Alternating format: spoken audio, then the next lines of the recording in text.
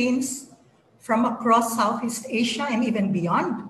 Thank you for taking time to join us this morning, in spite perhaps some of us experiencing inclement weather. My name is Neria Rohel, and I am a program specialist of SEARCA's Research and Thought Leadership Department. This SEARCA Online Learning and Virtual Engagement Webinar Series, or SOLVE for short, is SEARCA's immediate response to the emerging impacts of the COVID-19 global pandemic on food security by maximizing the use of information and communication technology platforms to inform, educate, and share evidence-based solutions and tested technologies, as well as best practices on the ground. The short video shown earlier has given you a glimpse of SEARCA and what we do. SEARCA is hosted by the Philippine government on the campus of the University of the Philippines, Los Baños. So we are coming to you live from Los Baños, Laguna, the special science and nature city of the Philippines. The last webinar, which was on October 7, was on the unrealized potential of animal biotechnology. We had a highly engaging discussion with invited speakers from the United Kingdom, Argentina, and the Philippines. Today's online conversation will have a thematic focus agricultural biodiversity or agrobiodiversity.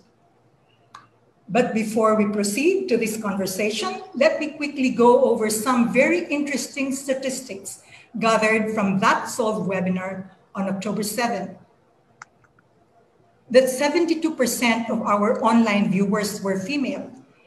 That we have more women attendees than males has been the consistent trend over the past SOLVE webinars. The infograph also indicates that 134 individuals tuned in via Zoom, while more than 770 viewed the webinar through SEARCA's Facebook page. And lastly, we are happy to note that we had online attendees from Australia, Cambodia, Indonesia, Thailand, USA, and Vietnam, in addition to the Philippines. Allow me now to go over the program quickly for today's webinar, which will be shown on your, ski, on your screen shortly. There you go. Agricultural biodiversity or agrobiodiversity is defined by FAO and the Convention on Biological Diversity as the variety and variability of animals, plants, and microorganisms that are used directly or indirectly for food and agriculture, including crops, livestock, forestry, and fisheries. It is described as the interactions among genetic resources, the environment, and the management systems and practices used by farmers. Major global agenda take into account the conservation and sustainable use of biological resources to secure livelihoods, food and nutrition, and in maintaining ecosystem services. Agrobiodiversity is recognized as pivotal to achieve many of these global goals, including inclusive and sustainable agricultural and rural development, or ISARD, owing to the contribution of agriculture in building the economies of many countries in Southeast Asia. We will be listening to our first speaker in a bit after a brief introduction and a few housekeeping points. But let me say that our first speaker, Dr. Uh-huh. Julian Gonsalves, We'll discuss the critical importance of agrobiodiversity conservation and sustainable use and ways to integrate this sustainable use into school and home gardens and family farms. He will be followed by Ms. Leajim Villanueva, who will share with us the drivers of fragmentation of Polillo Island's key biodiversity area. Then this will be followed by the question and answer session. I know you're raring to hear from our speakers, but let me first encourage you to send us your questions. For those of you who are tuned in via SEARCA's Facebook page, you may type your questions in the comments section. If you are res- registered and tuned in via Zoom, please post your questions or comments in the Q&A section that you see at the bottom or the top of the page, whatever, depending on the gadget you are using. We will collate all these questions and we will answer them towards the end of the session. We would, we would also like to request you to indicate your location or country of origin. It would be good for us to know where you are watching this webinar. We encourage you to please like SEARCA's Facebook by pressing the little thumbs up sign just below the cover photo for us to remain socially connected. By liking our FB page, you will regularly receive updates on our learning events, webinars, and postings on recent developments in agricultural and rural development. Please note that today's webinar is being recorded and will be made available on SEARCA's FB page and YouTube channel. If you are not yet subscribed to the YouTube channel of SEARCA, please do so. Today's presentations will be made available on SEARCA's website, www.searca.org. The slides shown during the past webinars have already been posted on this website. We will also be live tweeting this webinar so you can join the conversation using hashtag SEARCASolve. If you have issues or are experiencing technical difficulties with the Zoom online platform, please email my colleagues at solve at searca.org. Now, on to the awaited part, the presentations. As mentioned, our first speaker is Dr. Julian Gonsalves, who has been a proponent of gardens as a nutrition supplementation intervention for over 30 years. He has promoted agrobiodiversity and ecologically oriented systems of gardening that are considered both climate smart and nutrition smart. He is a Rockefeller Fellow and was a recipient of the 1991 United Nations Environment Program Global 500 Award for Environmental Achievement. Dr. Gonsalves is associated with the Climate Change, Agriculture, and Food Security, or CCAFS, in Southeast Asia, and the International Development Research Center, or IDRC Canada, which supports his work. He has served on the Scientific Advisory Committee of the Canadian International Food Security Research Fund of IDRC. He currently supports initiatives of the International Institute of Rural Reconstruction, or IIRR, in Myanmar, Cambodia, Laos, and the Philippines on school, home, and community gardens. He has a PhD from Cornell University and is currently senior advisor at the IIRR. The IIRR generously shares its four decade experience on gardening as a nutrition sensitive agriculture initiative with equal consideration for social, institutional, and technological factors. Thank you. And ladies and gentlemen, please welcome Dr. Julian Gonsalves. Yeah, okay. Um, uh, I have chosen to uh, use a very practical approach uh, to my presentation. So with apologies, uh, this is going to be a practical uh, application uh, of ideas related to conservation. Carmen, your presentation earlier uh, was a superb uh, uh, introduction to, to, what I'm going to say and do.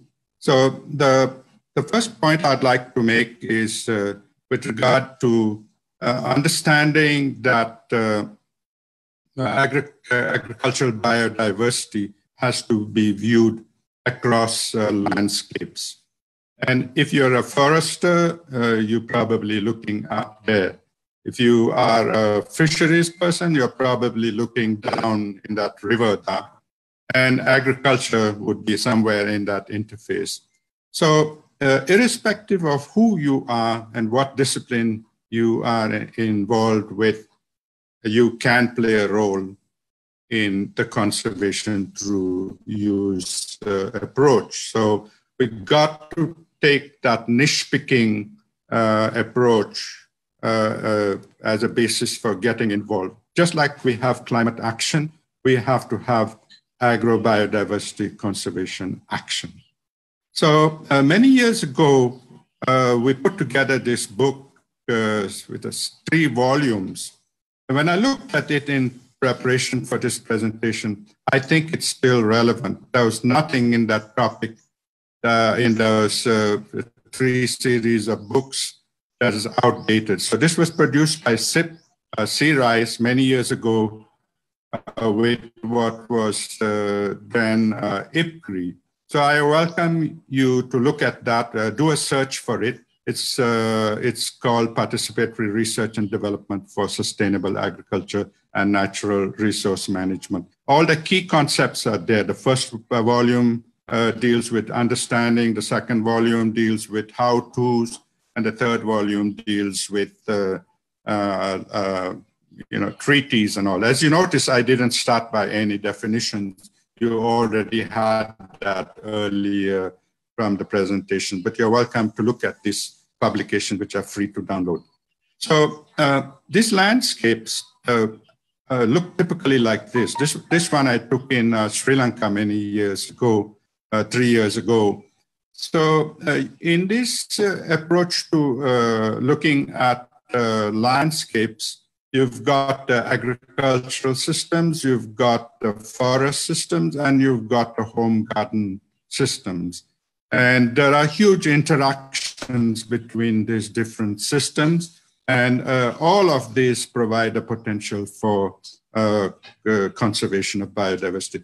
I would single out uh, Indonesia and Sri Lanka for uh, uh, identifying institutions and individuals that have done studies and research of considerable uh, intellectual uh, relevance. And so I encourage you to look uh, where it is the home gardens of northern Sri Lanka or it is the Pekarangan in Indonesia. They, they stand out. Uh, however, you can find such systems in all of Southeast Asia. And of course, for those of us uh, right here in my backyard, I don't mean my home, but in the place where I live in Cavite, Philippines, we've had multi-storage systems uh, that were developed by farmers in the uh, 60s, 50s. Uh, and these were the first agroforestry systems that were uh, literally created by human beings. Now they're receiving more attention from the perspective of climate change. You can see here on the left you can see Liberica coffee, which you don't find in too many countries except Philippines and in uh, Malaysia, maybe. It has huge potential. And we are now um, uh, among uh, a large number of organizations uh, reintroducing these into our climate smart villages. And the Department of Agriculture is putting a big focus on uh, these uh, varieties. And of course, they grow in conjunction uh, with the coconut based systems, and we can see that in the picture on the right. Uh, coconut fruit trees, especially short, uh, small canopy uh, fruit trees.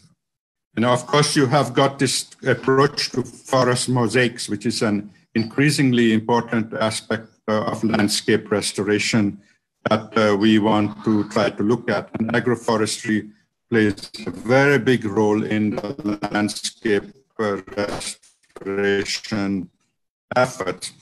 In, in a number of countries, including in Cambodia, uh, uh, we have done studies, uh, I don't mean scholarly studies, but I refer to uh, evaluations and reviews uh, where we've been able to demonstrate that uh, the, the rice yields have increased by as much as one ton attributed to the flow of forest litter from above slopes to the rice fields. You can still see this in many parts of Southeast Asia. And our hope is that these can be conserved because of the ecosystem services that these forests provide to the rice fields uh, at the bottom. This was taken very recently in Laos, and uh, you know, these forests are important, picture that you saw earlier, because within them uh, rest a lot of non-timber forest products, uh, which are basically sourced at the cropping season. Uh, when the crops are harvested, uh, you usually have a lot of. Uh, we have done a number of studies with the World Food Program in Laos. And of course, in Laos, you have uh, the TABI, the project, TABI, which now has a resource platform. It's called Phakalao, pardon the pronunciation but it's where you can find a lot of information on this. And then you have uh, based here in the Philippines and in Indonesia, a non-timber forest product, uh, NTFP-EP, which I strongly recommend that you reach. And you've got, you've got RECOFTC in Thailand. So three groups that I would recommend, TABI, NTFP-EP, and uh, RECOFTC for knowing more about this. So these are foods Without the forest, you would not have non-timber forest products. And so any effort to conserve the forest has implication on biodiversity of relevance to food. Of course, there's uh, the water systems and water sources, and I won't go into the details of this, but uh, the, uh, the role for conservation of fish. Now, in my approach, in my presentation, I basically uh, use the approach of coexistence of modern and traditional varieties. I'm not romanticizing one over the other. And so the approach to coexistence allows you to find niches where traditional uh, sources uh, are conserved even as modernization takes place. And of course, this is a classic picture here where you can see different kinds of crops. But that fish pond even though it is a short cycle uh, pond, is a niche for conserving. And of course, you've got streams, ponds, and rice fields. Uh, I would say the fish conservation zone work of Laos is the most advanced uh, in Southeast Asia. So I welcome uh, you to look for FCZ. And in other parts of the world, you have what is called SIS, uh, and these are small indigenous species. Uh, I would say uh, Bangladesh has been the most advanced country that discovered the value of small indigenous fish species. They are more nutritious than uh, the other species that we introduce. There's no argument, uh, no quarrel about that. Calcium, uh, magnesium, and protein and other sources are quite impressive. Uh, here in our climate smart village in Myanmar, we allow uh, during the floods, we allow uh, for that water that typically comes into the delta to enter canals that are seasonal in nature. Along with the water comes indigenous, small indigenous species of fish. They might not sell in a supermarket, but they're certainly valuable nutritionally. And so if you're interested in this, you, I welcome you to look at this compilation of resources from all over Southeast Asia across different uh, aquatic water systems. And uh, again, uh, we are always concerned about the overemphasis on one species. It's the diversity that provides resilience to a particular system. And here, uh, uh, this picture was taken uh, in Myanmar in the Delta. The Delta is a, a diversity hotspot for bananas but they're getting lost. And until we find a way for uh, recognizing the value of this biodiversity, not by uh, simply talking about them, but doing something about them, reintroducing the biodiversity, we might lose these important uh, uh crop uh, cultivars. This picture was taken in, um, in Laos. Uh, you, you have yellow so-called yellow rices, you have black rices, and you have uh, red rices. Uh, interestingly, the, the, so the, the yellow rice is used in low fertility soils, and the black rices are risky uh, because they have more pests and diseases, uh, but they are, uh, require high fertility soil. I am repeating what the farmers told me in an evaluation of a project I did for the SDC uh, with TABI. So these are very valuable uh, crops uh, that we might be losing. This is rain-fed rice achieving 3.5 to 4, 5 ton. If some of you in the audience are researchers, I welcome you to use the approach of NAFRI that identified uh, over 257 uh, uh, varieties and from them narrowed it down to seven, which were then uh, multiplied through local seed systems.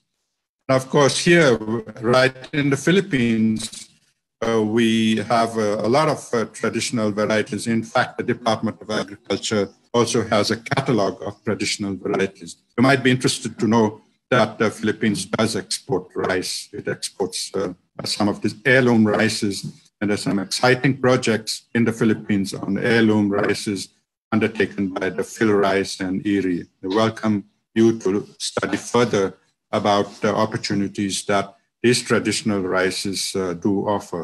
So with small management systems, you do, uh, you can increase productivity by 30 to 40%. The lower yields are compensated by the higher market prices, especially, for example, with the black rices, that are now valued uh, because of their antioxidant uh, uh, contributions. Um, you do have black rices in the upland, you do have black rices in the lowland, you do have glutinous rices, you have non glutinous rices. The choice is huge. But this is always in the context of niches. You can't just promote them anywhere, uh, which is why uh, I sometimes tend to be cautious about uh, uh, efforts that seem to specialize, uh, focus on one crop uh, variety, and assuming that it would solve all the problems of, uh, from a nutritional perspective. So, targeting species uh, really depends on fertility values of the soil resource availability. That's why, like in a typical farm in Laos, where this picture is taken, there are different varieties of crops and different cultivars for different niches in the landscape. Uh, and also very recently taken by the World Food Program, a partner of the IIRR in uh, Laos. Uh, in the Philippines, we have a major program with uh, the Department of Education uh, with a big focus on the conservation of biodiversity through the concept of crop museums. So schools have uh, crop museums, uh, which basically are a focal point for conservation and distribution. Again, uh, we do not romanticize local varieties, but we emphasize the importance of combining them with other locally adapted crops, including modern cultivars. So the diversity is huge. So you have intraspecies diversity, and you have uh, interspecies diversity, like the picture in the top right corner is just the, the interspecies diversity of amaranth. And here, uh, where the focus is on trying to conserve both above ground diversity and below ground diversity. And we are convinced uh, through this biointensive gardening system, which, by the way, allows for uh, all the other elements uh, that people, whether it is uh, container gardening or it is landscape uh, uh, architecture or whether it is uh, other forms, there is a huge compatibility. But what makes this system unique is the fact that it has trees within the system.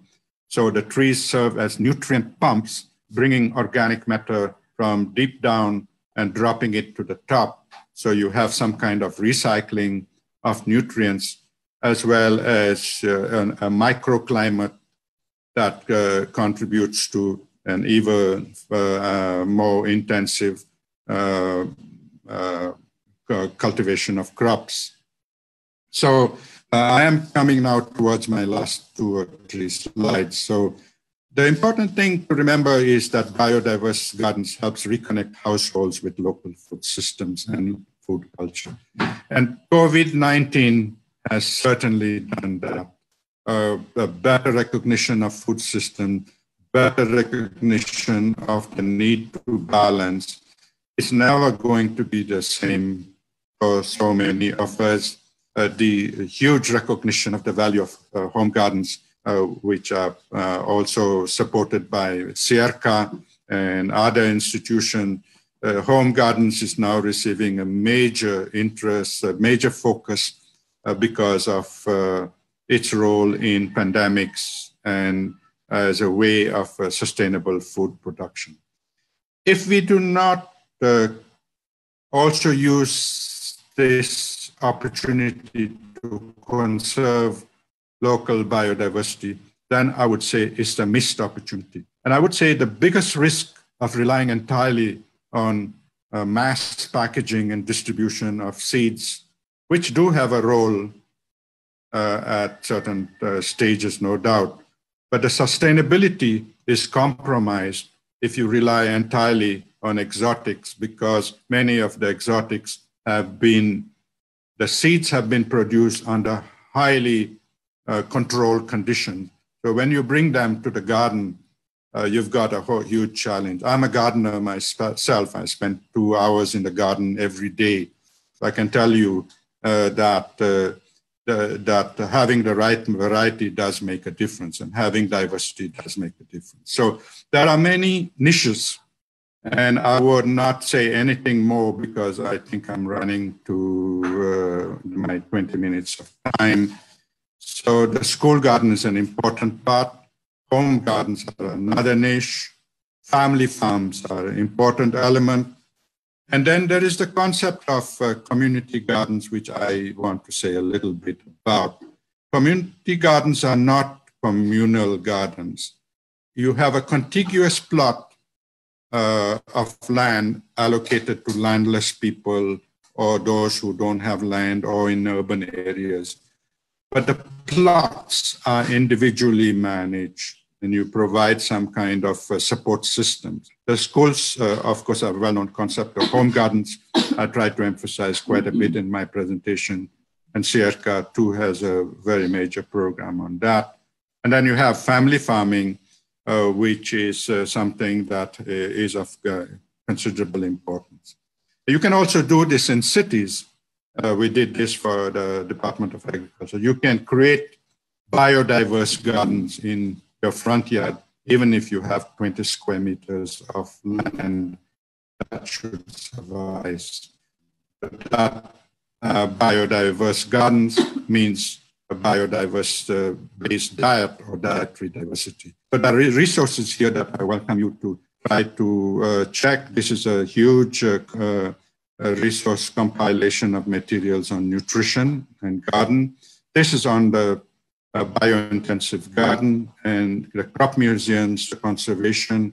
How do you use homestays? An example from Cambodia, an example from Myanmar. Uh, in in this, uh, a new book that uh, SEARCA and IIRR produced, uh, which is already available, but still a little bit expensive uh, because of the uh, uh, restrictions from the publisher but will soon be available and will be made free. So anyone at SEARCA, including Carmen, should be able to provide further guidance on this. Thank you so much. Thank you very much, Dr. Gonsalves, for highlighting the importance of agrobiodiversity and sharing with us various practical ways through which this can be conserved while allowing us to have healthy and nutritious diets. We are grateful for the various examples and the practices on the ground that you have shown us across Asia, from the uplands to the aquatic systems. Now, may I remind everyone again for uh, you to start typing your questions. For those via Facebook, please type your questions in the comments section, including your location or country of origin. If you are tuned in via Zoom, Please post your questions in the Q&A box at the bottom or top of your screen, depending on the gadget you are using. Now, we would, we would like to move on to our next speaker. We have Ms. Leajim Villanueva. She is a licensed environmental planner, and she is currently pursuing her PhD in environmental science from the University of the Philippines, Los Baños School of Environmental Science and Management and she has more than a decade of experience in working in a biodiversity conservation NGO focusing on the implementation of community-based interventions for natural resource management. Let us all welcome Ms. Villanueva. Uh, good morning, everyone. So, my presentation is all about the forest fragmentation within the Polillo Islands Key Biodiversity Area, just to share this uh, PowerPoint presentation with you. So the title of my presentation is Fragmentation Drivers in Polillo Island Key Biodiversity Area. This is uh, in Polillo Islands, Philippines. Uh, this one I co- authored with my committee members, particularly Dr. Ribancos, Dr. Peralta, and uh, Professor Vergara from SESAM.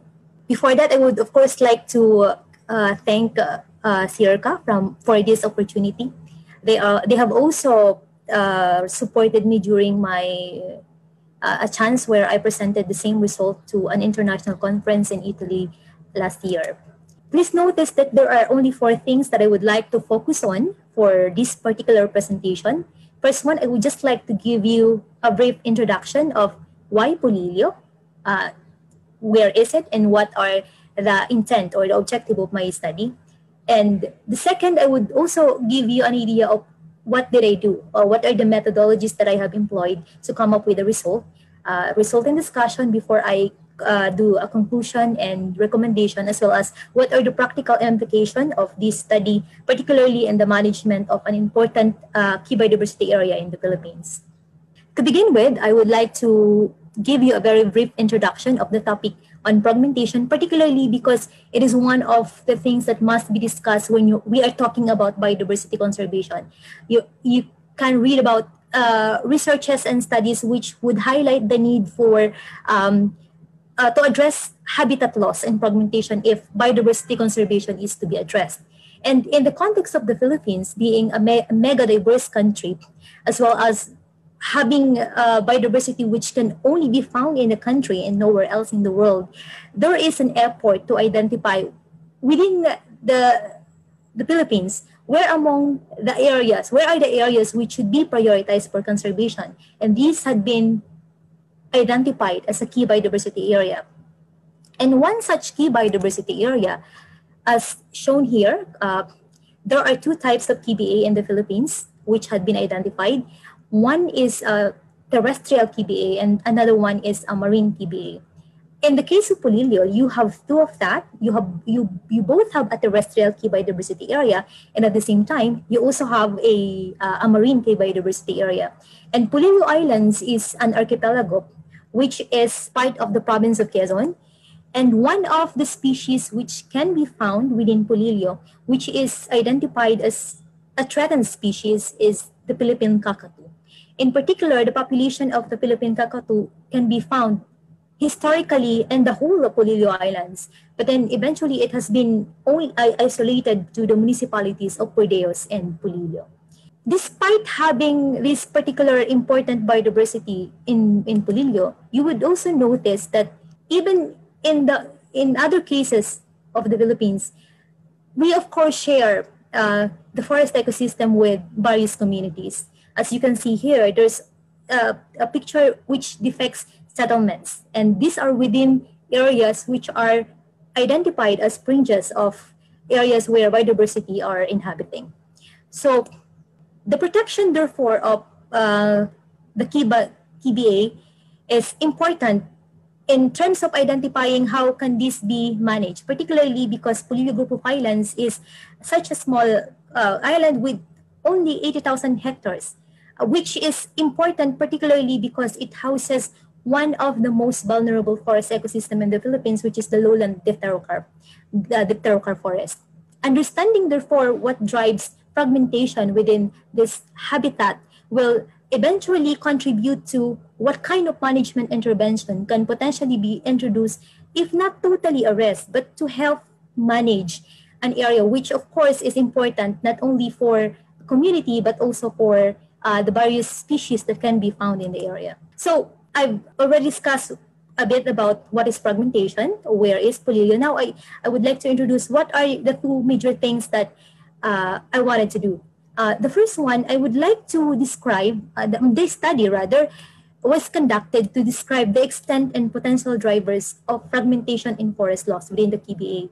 And since there are communities and there are, are institutional mechanism in place to develop recommendation to address forest fragmentation in forest loss within the KBA. So that's uh, basically what I what was the focus of uh, of the study. What are the methods that I have employed for, for this particular study? There are three major methods which was employed for methodologies which was employed for this study. The first one is uh, spatial analysis because there are, of course, in, in the context of fragmentation, it is important to understand what was there in the past, what, uh, the spatial configuration of the forest in the past. So spatial analysis gives an idea of uh, the status of the forest for 2002, 2006, and 2017. This was fed into an analysis for change matrix for the same uh, period of time. But however, there's also a need to understand how communities perceive uh, fragmentation and the historical pattern which would identify how the changes happen and the contribution to the same changes. And all this information was fed for the third, uh, the third uh, methodology, which, which is the description of the institutional mechanism in place in order to come up with a recommendation to address forest fragmentation and forest loss. So what was the result? As you would notice, this map, this map shows the extent of a forest for the year 2006. And this would also give an idea of the location of, uh, of the remaining dipterocarp forest for the Polillo Group of Islands. Notice that these changes for 2017 is summarized in this graph, such that uh, the initial 28%, so you would see in, in the screen that there are two donut graph. Uh, the first donut graph on the left side is for the mainland Polillo, and the second donut graph on the right side is for this island of Patnanungan because there is a different in pattern, particularly for the major island of uh, the main, the bigger island of Polillo, as opposed to the smaller island of Patnanungan. The inner graph, uh, the, the inner dot, though rather, which represents 28%, is for the year 2002 for the forest cover of, uh, of Polillo mainland which was decreased to 27% for the year 2006 and increased to 29% for the year 2017. So that's for the mainland. At the left side, you would see that in 2002, there is a, sorry, it was a reverse. It, it uh, meaning that 2017 was the, the inner doe, which is number three, uh, the doe number three.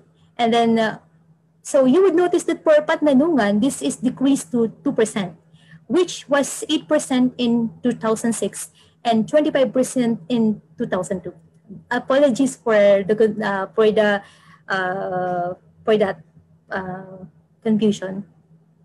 So there is indeed decreasing forest cover, both for the mainland Polillo as well as the island, uh, the, the island municipality of Patnanungan.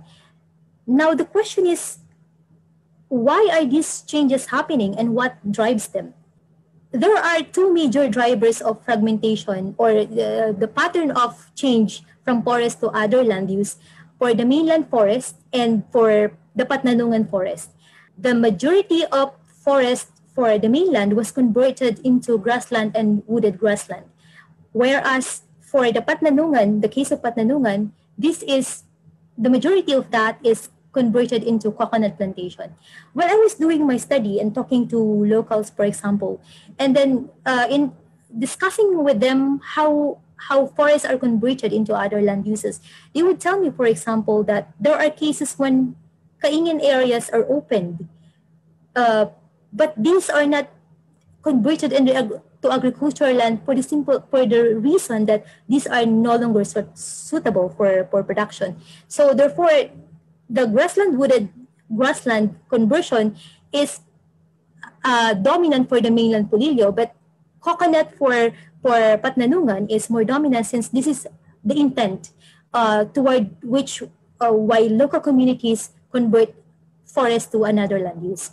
so as as I discussed earlier, the first and most important change in, in terms of forest to other land uses, particularly in mainland, is a change from productive forest ecosystem to less degrading ecosystem. There was even uh, the, this this local knowledge in in Polillo, for example, when they would know how how to determine if an area has already been degraded to a lesser ecosystem, a lesser diverse ecosystem is when they see such indicators as kilog. It's a it's a frame which is to be observed in acidic uh, acidic soils. And another reason why the trend in conversion from forest to coconut plantation is because most of the participants, particularly when talking to FGD participants, is because this er, this is the skill, the skill set or the type of occupation which has been passed down from their parents to their children. They would, for example, say that my parents have cultivated this land for 20 years, and so it's also it's only right that I continue and increase and develop the production of coconut because it has it's it has this context of so- social cultural influence. And there's also uh, uh, a change in forest to to other land use which is influenced by the condition of the area. Even in, uh, in areas where there are remaining forest patches, it is influenced by such environmental conditions as the slope and the elevation, as well as the soil quality, which would determine whether or not this area will be converted. In the case of Polillo Islands, the most dominant crops which is used for agriculture is, of course, coconut, as, uh, as I already discussed, particularly for the island municipality of Patnanungan. This is, even when I was working in an NGO, um, this has always baffled me because Polillo Islands is uh, a wide area of agricultural land, but then the most common and dominant crop that they use is coconut. And production of annual crops and other uh, the fruit bearing tree is not that popular. The reason for them is because of the ease as well as the suitability of this crop for, for an island ecosystem such as Polillo and the, the net profit which they can gather with less uh, with less capital. While going around Polillo and trying to understand why forest is being converted into agricultural, particularly into coconut plantation, they also identified a conflicting program that is that the Philippine government is implementing, particularly with the Philippine Coconut Authority, and that is the support of uh, the support of program whereby the farmers are given planting materials, but was not verified whether or not they actually have the farm for it. They were actually paid for a seedling of uh, of coconut palm, but when questioned whether or not there are validating team, at least for the cases of the ones which I was able to interview, their response was they would just give them the seedlings. But then again, there should be a need for increased monitoring of where the locals are actually going to be contributing them because some of the community would uh, understand this as a justification for converting a particular forest ecosystem into agricultural because it is a program of the government and so therefore it must be implemented. The Tenurial policies is also one of the things which influence whether or not a particular forest ecosystem which can be found within a, a, a particular tenurial area will be converted into other land use. And based from the result of my study, it shows that, of course, even timberland, if they are found within alienable disposable forest, are converted into other land use. And the purpose for this is because they were thinking of how they would be able to benefit. Because timberland or, or, or forest are seen as, there is a local term for, for Polillo. It's called inalas uh, or so masukal na lugar, meaning this is a place which is not developed. So if it's within a alienable disposable area, the t- titled owner would uh, the tendency to convert this is strong because they wanted to uh, that particular area to contribute to their economic uh, uh, benefits. There's also integrated social forestry area. which was found to be lower in terms of percentage for conversion, as well as in areas which are supposed to be open access or with, without a, a form of management, these are found to be of high percentage of uh, conversion from forest to other uh, land use.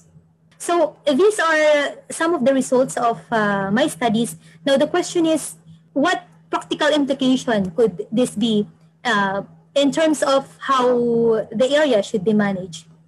The first one and the, most the most important uh, perhaps result which was was gathered from this uh, study is there is a difference in terms of fragmentation and uh, forest loss which is defined by the boundary of the municipalities now for example in the case of one of the municipality they have increasing increasing forest cover for 2000 2000 6 to 2017, and that is the municipality of Polillo. But another municipality has decreasing forest cover from the same year because there are inconsistencies in terms of management.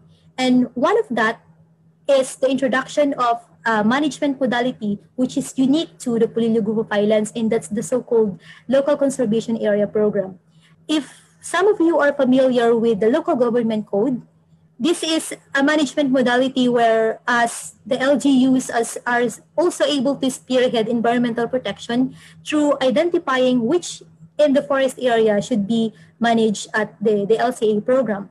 There are LGUs which are very consistent in terms of management and that translates to decrease in forest loss. However, there are some LGUs which are inconsistent in managing their forest that so that it translates to uh, decreasing forest cover. There are also forest widens in Polillo Islands and over the years, this Bantay Kalikasan uh, personnel or volunteers are able to conduct monitoring. And it is also an important result where the monitoring activities are translated into a, a local mechanism to deter a conversion of forest into another land use. And an important, an important, it's also important to note that uh, there should be a, uh, there should be a discussion point in terms of impl- implementation of uh, the national and provincial government, particularly when they prioritize where programs should be implemented. I am discussing this because if you would remember, the conflicting program which I identified is the implementation of coconut plantation and these some of the areas which had been identified by locals really is a timberland. And one of the reasons the LG would tell me is because uh, prior consultation, uh, consultation prior to implementation has to be strengthened and monitoring as well as validation of the area should also be implemented. So these are just some of the pictures which uh, uh I wanted to share with you. This is some of the Bantay Kalikasan volunteers. Uh, some of them I have worked with for the past 10 years.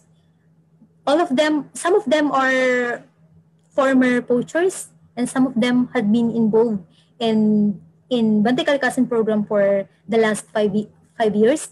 So my questions to them relate to the history of how the changes in uh, the forest ecosystem of Polillo Islands happened and what particular attribution can can they can they uh, can they focus on or can they identify this one is uh, me discussing with the municipal environment and natural resource officer because lgu is has the mandate to manage the local areas including um, the communal forest and the kba in polillo is under the management of the DENR, but with the help of the LGU. So this is uh, uh, this is that period of time when I was discussing the result and how the result of the study can be mainstreamed with the CLUP, which is the Comprehensive Land Use Plan, which is important for managing the forest of Polillo for the next 25 years. After my study, a year a year after the the, the conclusion of my study, I went ahead and presented the result to municipalities and got the commitment, at least of uh, the officers in charge to mainstream the result to their CLUP.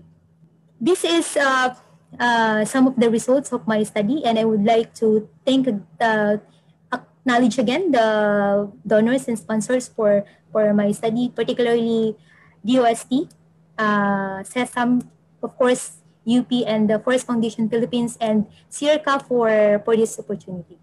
So that ends my presentation. Thank you, Ms. Villanueva, for sharing your study with us. Uh, we, we understand that the drivers of fragmentation in Polillo Island include socioeconomic and environmental factors, institutions, policies, and governance. We also greatly appreciate that we have initiated interventions in the area to be able to address this fragmentation and deforestation.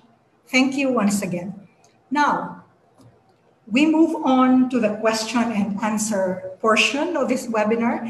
And I have quite a number already handed or written down. And let me start with this uh, for Dr. Gonsalves from Bernard Panabang. In the case of the Philippines, the use of traditional varieties has been decreasing. In my province, Abra, for example, there has, these have been replaced with high-yielding varieties which do not really suit the dry conditions of our province. Are there institutions where we can ask for starter seeds to start reutilizing these traditional varieties? How can we ensure that seeds of traditional varieties are conserved and available for backyard gardens. It is also important that breeding works and seed increase for these traditional varieties are undertaken because in small gardens, we have to take into account that the population is very narrow and at risk of inbreeding, which may affect the genetic integrity of the variety. This is for Dr. Gonsalves. Yes, um, the, that's a great question, um, and uh, you know I commend you for uh, you know uh, expressing your interest to do this. So uh, first, if you're talking about vegetables, uh, you come from a part of the country that still has a lot of uh, diversity. So what we have used is encourage people to have once in a year uh, like a seed fair, uh, a diversity fair, where you can invite people to uh, bring planting material. Uh, in Abra, there must be some Department of Education crop museums. Uh, you can uh, email me later, and we should be able to send you some addresses of crop museums where you can look at, if you're talking about vegetable diversity, uh, now, but your point is very well taken. In a small garden, you risk uh, uh, inbreeding, a crossbreeding of uh, because you have a very small space, and uh, that's certainly something that uh, one has to be aware of. And so, the, the key point is uh, about the role of research institutions working on uh, these uh, varieties. So, for example, uh, we have eggplants uh, that we have used uh, over the years. We have as many as 10, 10 or 12 varieties of eggplants. I can show you some here. and we have diversity kits, which have been provided to the Department of Agriculture uh, uh, research stations, it's for them to do the identification and further selection and purification. The important thing to remember is when you're talking about local varieties, we uh, try to identify for optimum performance under ordinary conditions, as opposed to maximum performance under the best conditions that's a different ball game altogether. And so, if you are into greenhouse agriculture with sophisticated hydroponics, this has no relevance to you. If you're talking about home gardens, this has relevance to you. So, we encourage people to share and exchange uh, uh, planting materials. And your point about research institutions is a very good one, uh, playing a bigger role. I, I, gave you the example of uh, NAFRI that identified as, I, don't remember the exact number, but 250 or 270 of those kaka noi rice varieties, and then narrowed it down in three years to seven varieties, which then became the basis of seed multiplication. So you have some elements of uh, approaches there, and we're happy to talk about it further. Uh, there's another question for Dr. Uh, Gonsalves. For the smallholder farmers, what about their market opportunities for their crop if they practice diversified farming? Is diversified farming system a reasonable practice for smallholder farmers? This is a question from uh, Myanmar. Uh, my, my view is that uh, uh this uh, recent COVID 19 has uh, brought in a new understanding of the value of home gardens and home systems. It's important to remember that what, what the presentation I made relates to home gardens, school gardens, and nutrition. That is the topic under discussion right now. So uh, we do know that there will have to be a coexistence. So certain uh, pathways are market oriented, featuring uh, modern varieties, and all that goes with it, including uh, pesticides and fertilizers. Uh, uh, that's the choice that producers would have to make. But from our perspective that there is a role for uh, safe and healthy food, good agriculture practices, which includes a combination of traditional and modern varieties. Uh, in the case of uh, Myanmar, uh, Myanmar is the global center for bean and uh, related legume diversity. Uh, there's no way you want to lose that. And there's the only one way you can save it is by continuing to uh, patronize them. And you have to find ways for productivity to be improved. We're not saying that uh, uh, these, that example of mine from Laos suggests that uh, there is a role for research institutions to find out ways for improving productivity. So in the case of upland rice, simple management practices have given 40 50% increases in production. So I am not in a position to make any specific comment to Myanmar other than suggest those principles. Thank you. Thank you, Dr. Julian. Um, now, this one is a question for Ms. Villanueva. Why not promote intercropping other shade cash crops such as cacao or cacao, ginger, banana, in coconut plantations for the farmers to have cash on hand by not waiting for coconut harvest and by not waiting for copra, which will be as low as one peso per kilo. Um, thank you for the question. That is very relevant, particularly because the focus now is more on agroforestry and the inter intercrop of uh, uh, fruit-bearing trees with such uh, such palms as coconut. Uh, when I was still working in Polillo Islands, that's actually one of the programs that we espoused. And even the, the Philippine government, you're talking of uh, uh, trying to implement intercropping by encouraging the incorporation of fruit-bearing trees such as cacao and cafe. But if I may say something about this, this, this topic, I think what, even NGOs, when we go to the field, sometimes we already have an idea of what's going to work. But over time, I realized that's really the other way around. The first thing that we should do is consult the communities, for example, what was there in the past and what do they think is going to be working in that particular area, as well as I would like to to to point out a very pressing issue which has been com- I've been confronted with while uh, uh, in conservation over and over again, and that is the issue of where do you sell. Sometimes we produ- produce so much, but then there's really no market and post processing after the harvest. So that is a very good recommendation, and I would just like like to add that the first thing really before any livelihood intervention should be conducted or any incorporation of any other crops is to consult and to to study a feasibility study which would d- determine and identify what will work so that people and their effort are not wasted. It really breaks my heart because while working in, in that site, I would be confronted by farmers who, who would ask me, so Leah, we, we planted this much, where do we sell after that? Yeah, so that's good. We, we advocate for agroforestry and definitely agroforestry has a future in, in the context of cultivation and productivity as well as sustainability.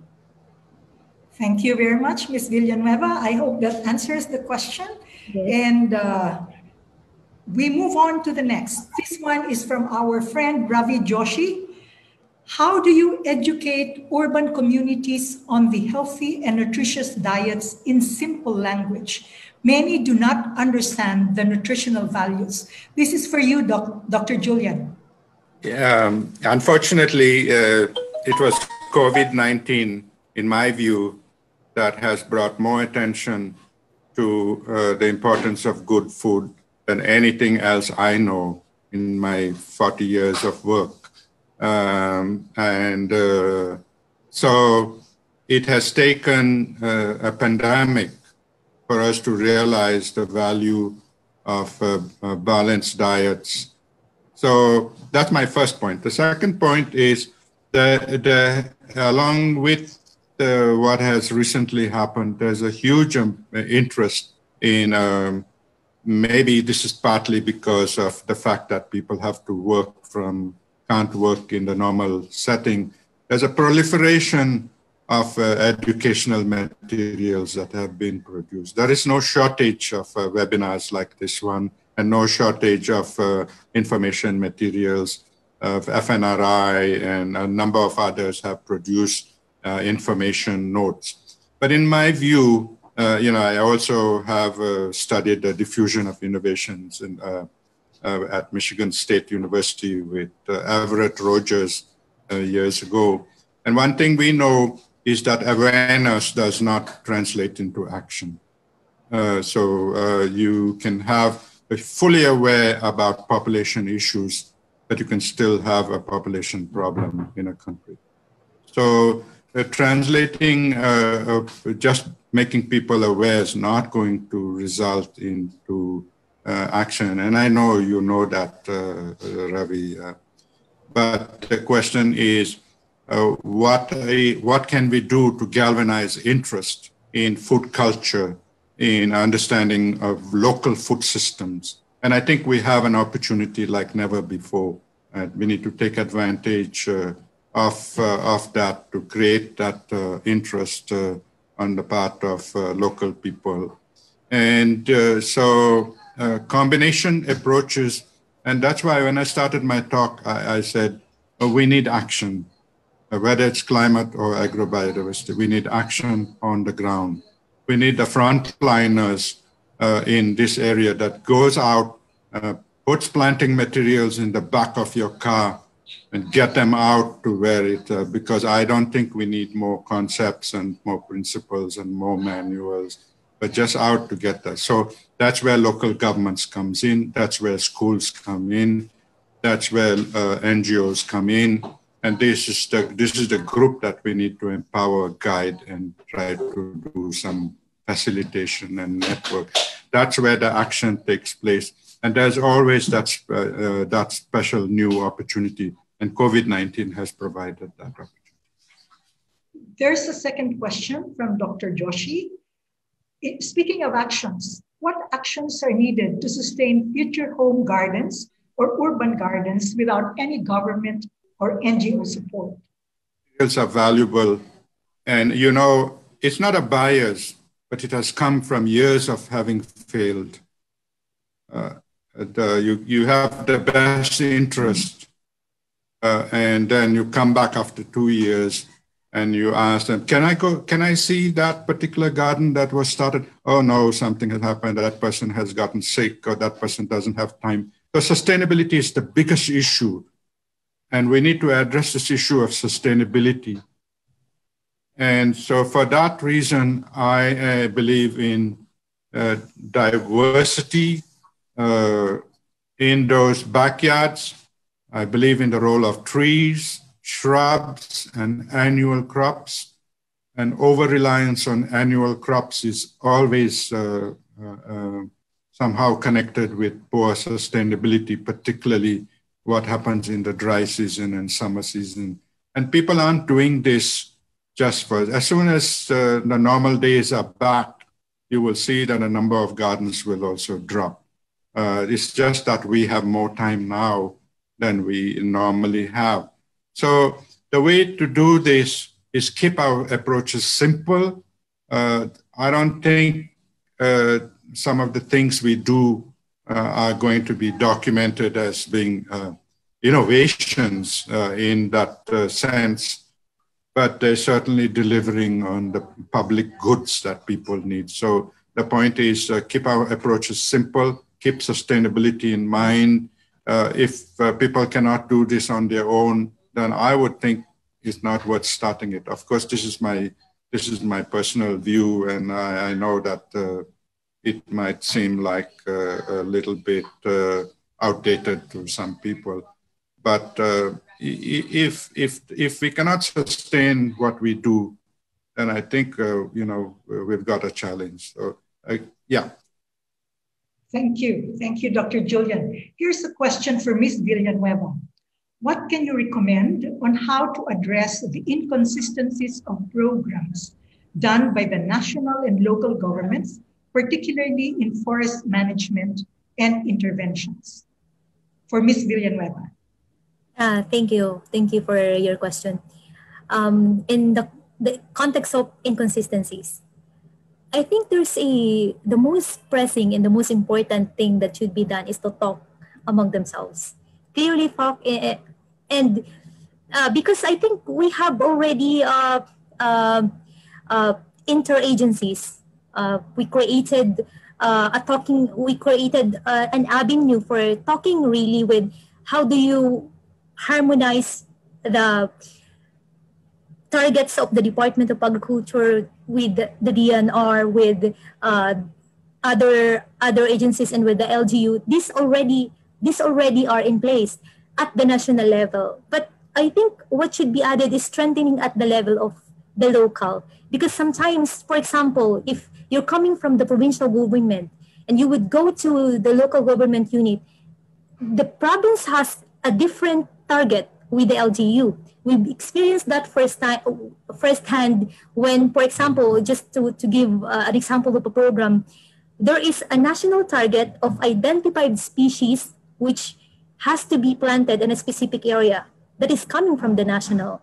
But then when they come to the local level, there is a assumption that the, their targets will fit the local the, the local uh, the local targets and that is not the case particularly if there's an absence of an effective communication process.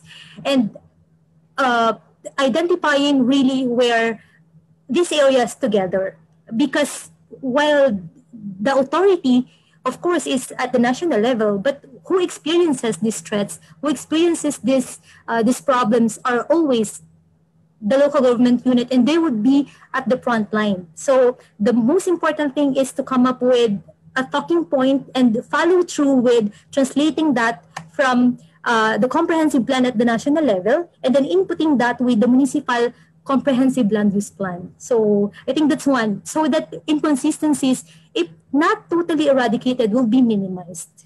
Thank you, Ms. Villanueva. Okay, minimizing inconsistencies. Now we are going to our couple of last few questions. There are others listed here, but we won't have the time to go through all of them. Let me just ask these questions. For Dr. Julian, are there still available genetic resources that can be used as germplasm that could be put on gene banks or commodities? And the other one is if the Philippines has a publication of compiled rice varieties, do we also have a publication on bananas? Where to get it? And is there an ebook? Second question um, The Institute of Plant uh, Breeding ha- has a major program on uh, banana uh, germplasm. There is an initiative uh, that uh, you might want to try to check out. Uh, there is a catalog on traditional rice varieties that was produced by the Department of Agriculture and the Bureau of uh, Plant Industry. Uh, I am not aware of uh, a catalog similar to that, but I would not be surprised that there would be one. I don't know if there are people in the audience uh, from uh, IPB that might be able to answer that question. Heidi, are you there? Or somebody from IPB.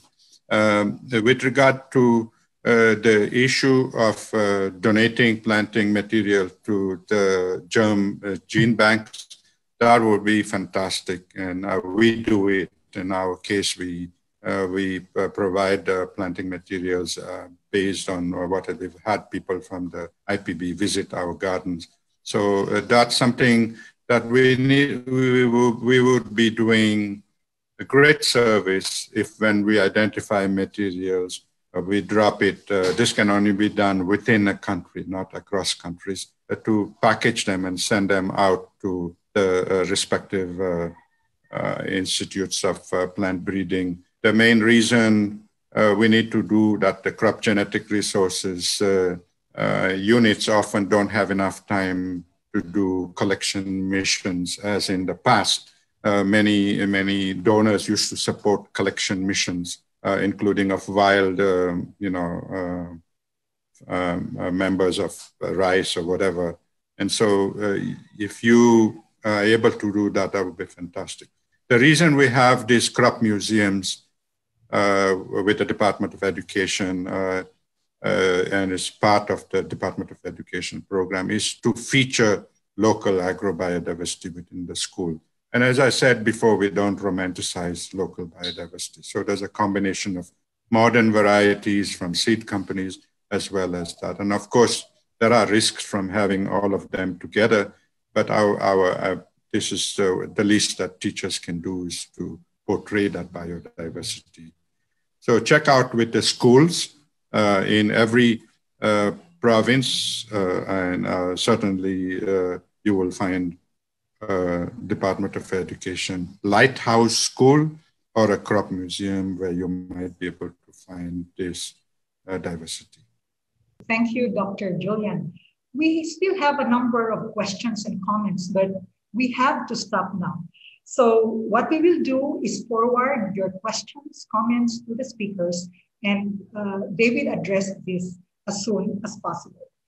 Before we close this webinar, Dr. Julian and Ms. Villanueva, I will have to put you on the spot again for your final takeaway messages. A very, very brief one.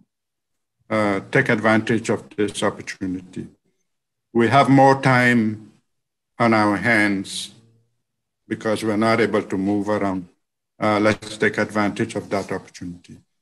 This is an area that is uh, underused, uh, under, under, uh, under, uh, underserved, so uh, hopefully we can take advantage of this opportunity to bring more attention to conserving biodiversity across landscapes, like my other speaker has also also emphasized. Thank you. I would like to read uh, this um, the final conclusion for my for my presentation. Particularly, I would like to emphasize that uh, agricultural production is important to support economic well-being of communities. And as one of the major sources of income within the Polillo Group of Islands, for example, it contributes to the capability of locals to support their needs. Nevertheless, the integrity of the watershed, both as a habitat for diverse species and as contributory to sustaining freshwater sources for domestic and agriculture production demands are equally important is to striking a balance between production and protection to sustaining the socio-ecological system. Thank you.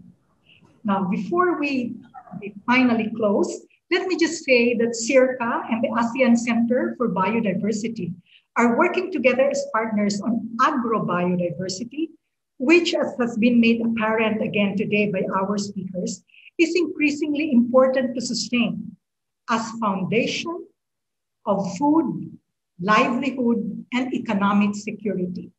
There have been drivers for these loss of biodiversity for food and agriculture, such as land and water use changes, loss and degradation of forests and aquatic resources or ecosystems, and transition to intensive production of less number of species due to the pull of, interna of the international market.